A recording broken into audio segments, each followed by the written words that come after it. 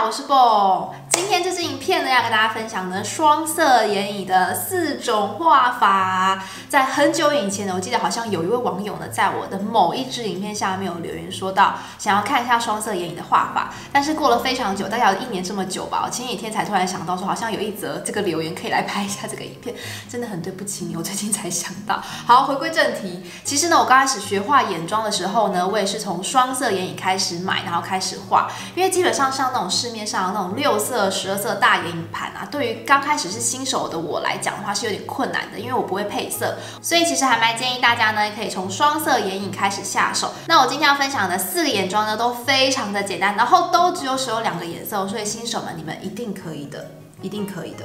好，那我们话不多说，赶快来看一下今天的分享吧。首先呢，我们先从最简单的画法来看，先使用呢浅色大面积的上在眼窝的地方。那这时候呢，我们可以使用大一点的眼影刷。等上色上的差不多的时候呢，我们可以用眼影刷的最前端来把边界给晕染开来。接下来呢，我们使用一样的浅色呢，大面积的上在整个下眼影的部分。这时候呢，我们可以搭配比较细扁的刷子。接下来呢，以手指呢沾取深色上在眼褶内。那大家可以看到，我上深色的方式呢，是从眼尾然后再往前，这样子呢，眼尾也可以制造一点自然的深邃感。拿出刚刚的刷子呢，把边界给晕开来，这样子呢，才会有自然、完美又漂亮的渐层。最后一个步骤呢，就是沾取深色，沿着睫毛的根部呢，来加强一下。这样子的画法呢，很日常，然后放大眼睛的效果也很好哦。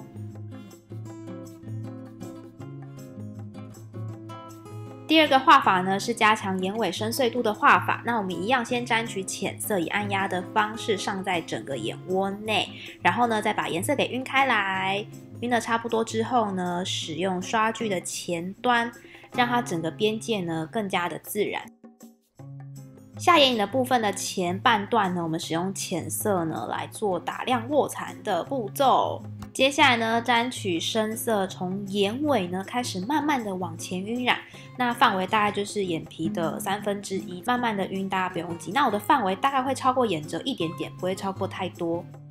眼尾的后三分之一处呢，使用深色来加强跟上眼皮的眼尾做个连接，这样子眼妆就完成了。这个画法呢，整个眼尾的深邃度会比较明显一点点，我觉得也蛮好看的，也是我最常使用的画法。第三个画法呢，我觉得也蛮简单的，但是呢，晕染技巧可能要再好一点点。我们沾取深色呢，由眼尾慢慢的晕染到整个眼窝内。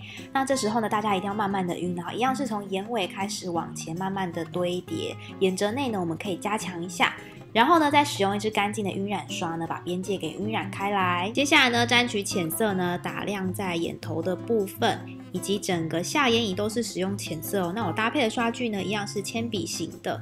眼尾的地方大家一定要记得做好连接，这样子眼妆就完成了。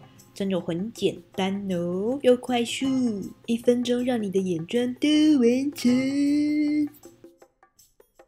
最后一个眼妆呢，是我觉得难度比较高一点点的眼妆，就是那种内包式的眼妆。我们先沾取深色呢，由眼尾开始往前晕染，大家切记呢，要慢慢少量多次的晕。那晕到大概眼尾三分之一处，那眼褶再高一些些的地方就可以了。眼头的地方呢，也是三分之一，就刚好眼睛分三份，中间那份比较上，这样子。这样说有没有清楚又明白？那眼尾的后三分之一处呢，我们是沾取深色呢，来把它加强一下。接下来呢，我们就用手指沾取浅色呢，上在眼睛的中间，不，眼皮的中间，由下往上慢慢的晕染。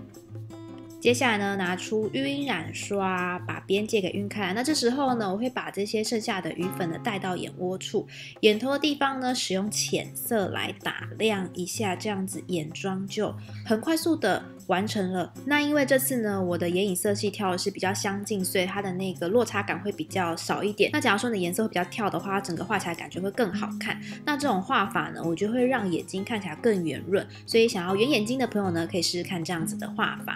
以上呢就是今天的四个眼妆的分享，希望这四个眼妆呢对你们会有帮助。那大家可以借由多练习，那练习久之后呢，你们就可以往那种六色、十二色大眼影盘迈进喽。好，那希望大家喜欢这支影片，我们下次再见喽，拜拜。拜想来跟你们分享一下我自己做的非常丑的笔记，哒啦，有没有很丑？看得出来是眼睛吗？就是我这次画的眼影的方法，有没有？超级丑！希望大家不要取笑我的草稿，因为基本上本人没有什么绘画天分。好，我们下次再见，拜。Whatever you give me.